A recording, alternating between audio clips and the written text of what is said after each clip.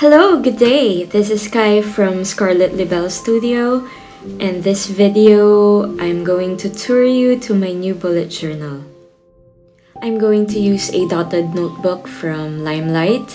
This is something that I bought accidentally. When I saw that it was dotted, I instantly grabbed it from the shelf and bought it.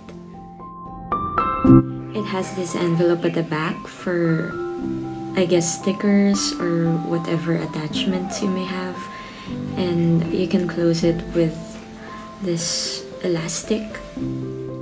I was planning to put everything, the whole migration in one video but it was too long so I'm splitting this into two parts. In this video, I will show you the basic bullet journal pages and the rest I will show in the next video.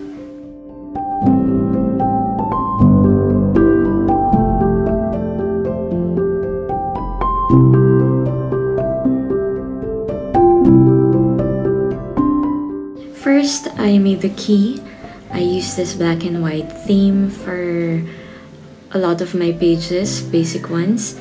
And uh, here is where you put the symbols that you're going to use for the rest of the journal, for your task, what's done, what's postponed, your events, notes, and all that you need to organize.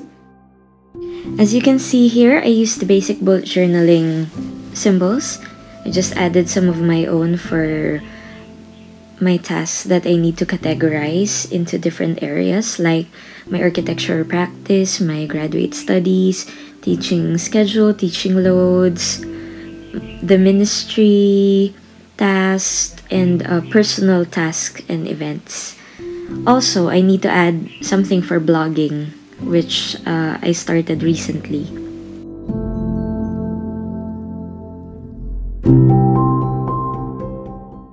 Once that's done and pasted on the opposite page, I move on to the information page wherein I put my personal information like my name, address, contact numbers, and such.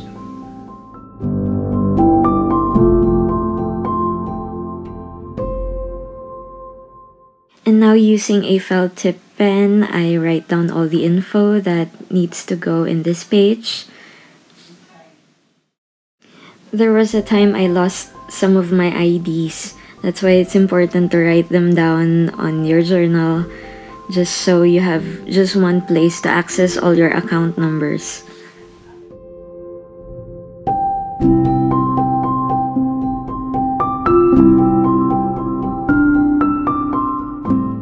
I also wrote down my blood type and the allergies that I have just for future reference. And if ever you have other online accounts, social media accounts, it's important that you write those here. It doesn't have to contain your password, just the account names. It's also important that you write these in case of emergency contact at the bottom of this page.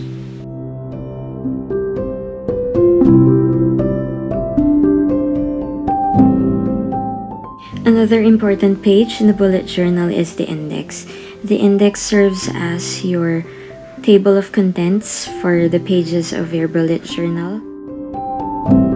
It's kind of weird starting the bullet journal on a November, but the pages of my old bullet journal ran out, so I'm continuing 2018 in this new one.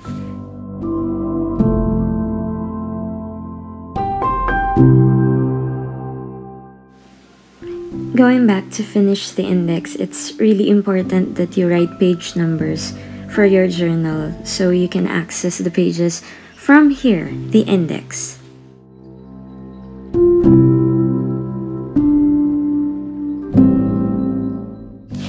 The next page is the future log. The future log is an overview of the whole year. In this spread, I use two pages to set up the 2019 future log. And on the side, I use this extra page just to color code all the events according to the category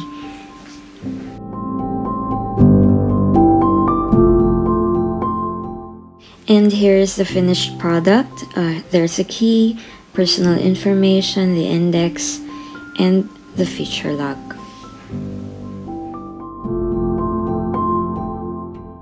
Part 2 of my bullet journal migration will be about these additional journal pages. I'm going to show you how I made them.